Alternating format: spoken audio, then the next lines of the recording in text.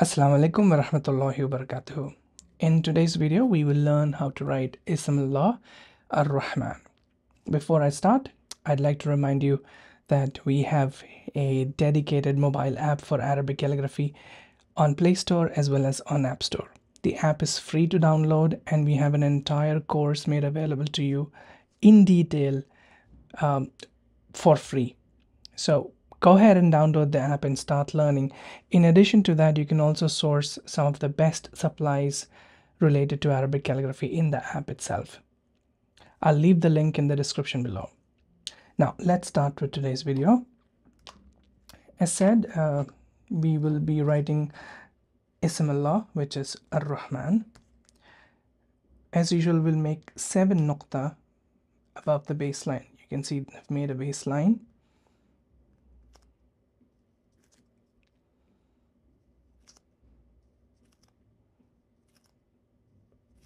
you don't have to be accurate. You can be approximate with it and you will need two nukta below the baseline. Excuse me. Okay so we'll make our alif first which is 7 nukta in height.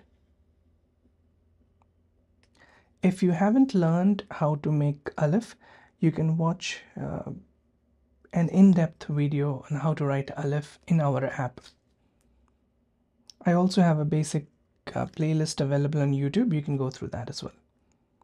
This was Alif and we'll make raw. Sorry, lam with raw. That's what I meant. Now I will make raw al-Istiqbani, which is also called al-Rahmaniya. So for that, I come down in this trajectory, as you can see, this width is approximately 2 nukta. From here I will dive in this direction and then from here lift the qalam in my hand like this and I'll make the tail with the tip of the qalam. This is your raw. Now to ha I will choose this shape of ha because it looks aesthetically pleasing with this word. For this you make this curve stroke which is approximately one nukta in curve. You will make a cross stroke from here, go slightly up and then drop.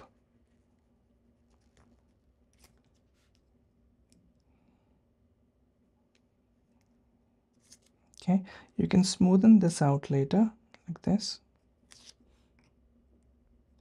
Then from here, you will come down till you meet this stroke. Okay? Then from here you'll dive like this.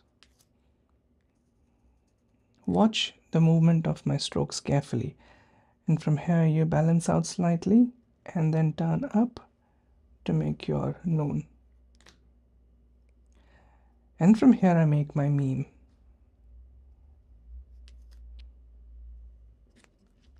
this is how you write ar-Rahman traditionally. Of course this denotes your alif excuse me for the ink spillage. Now as far as the mizan is concerned this would be approximately 5 to 6 nukta.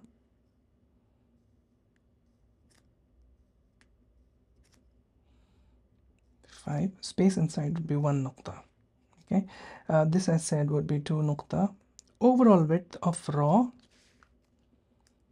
would be anywhere between 5 to 6 nukta. 6.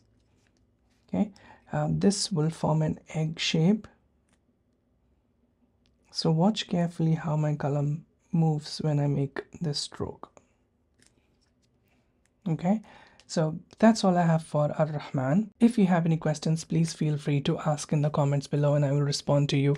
And do not forget to download our app and start learning. Assalamu alaikum warahmatullah.